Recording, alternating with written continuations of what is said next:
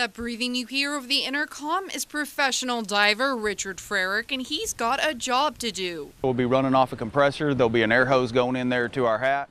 Uh, so I'll be down there as long as it takes, and we'll be hooking up a three-inch line to a pump and just pumping all the good stuff out. Now, it might sound like Richard's diving for sunken treasure, but the actual payload is much less valuable.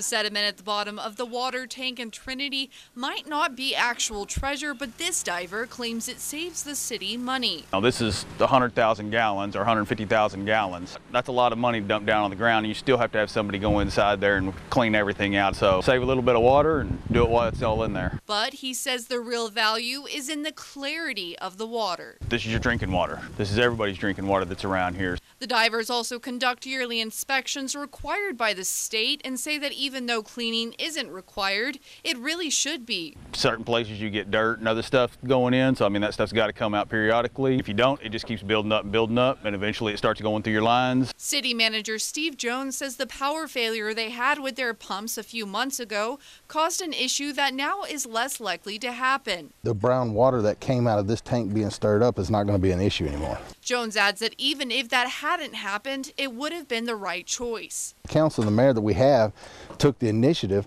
to go ahead and have them come out and clean the tanks. It's going to be something that's going to be great for our water system, for our customers. Haley Squires, KTRE, East Texas News 9.